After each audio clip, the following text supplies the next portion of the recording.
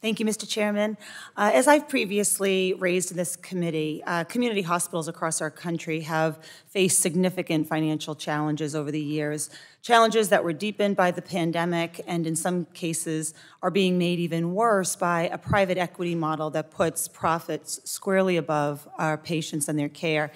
In 2017, Steward Healthcare, the largest private for-profit health network in the country, purchased Texas Vista Medical Center in San Antonio with the help of private equity.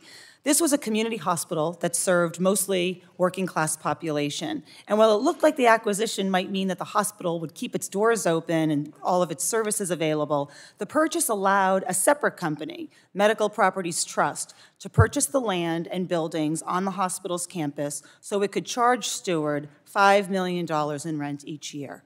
Fast forward six years, the and Steward announced it was closing Texas Vista because of low Medicaid reimbursement. But it mentioned nothing about the 30 plus million it had to pay in rent to Medical Properties Trust, a company, by the way, whose CEO earned $70 million in salary, bonuses, and stock in the four years following the purchase of Texas Vista's properties. Mr. Chairman, this is what the disastrous reality of private equity in our healthcare system looks like. And the thing is, it's happening again. But this time, families in my district are the ones who are being told that they have to pay the price. Families who receive care at Holy Family Hospital and Nashoba Valley Medical Center, both owned by Steward, were recently notif notified that their care is now in jeopardy because of the corporation's gross financial negligence that's seeing the company try to shutter four of the nine hospitals they own in Massachusetts. For their reasoning, Steward executives have pointed to, you guessed it, low Medicaid reimbursement rate as the cause for their financial distress. But earlier this month, it was revealed that the company has missed rent payments to an outside landlord that actually owns the property and buildings their facilities operate in. It's looking more and more like this is part of a dangerous steward private equity playbook. Ms. Tripoli. Hospitals have had a rough go of it post COVID with workforce shortages, supply chain issues, and inflation. Do you have concerns about the increasing role of private equity ownership of community hospitals, particularly this type of purchase structure where a for profit system purchases a community hospital with a separate firm purchasing land and buildings that it operates? I think absolutely. I think we have to be very skeptical of the role of private equity in mergers and acquisitions in the healthcare system in general. Their business model is just incompatible with ensuring the health and financial security of the American people, particularly at the community level. And what we see when private equity comes in, they're they're uh, trying to make their they're cutting costs, they're trying to increase prices. We see quality go down. We see hospital-acquired infections go up. We see uh, increasing in falls. We see prices go up, um, and they're trying to look profitable for resale in three to five years.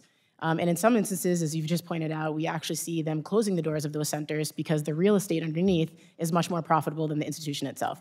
So we have to be very, very critical and scrutinize. We need a lot more transparency around the role of private equity ownership in the healthcare system right now. That is a giant black box, and we need more data unveiled so that federal and state regulators can uh, have greater scrutiny over the role of private equity in healthcare. Thank you. I mean, when these hospitals are forced to close, like in San Antonio and now across Massachusetts, it's patients who suffer.